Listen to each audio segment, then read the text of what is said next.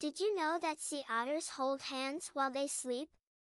These adorable marine mammals often float in groups called rafts in the ocean. To prevent drifting away from each other while they snooze, they hold on to each other's paws, creating a cozy and secure snooze squad.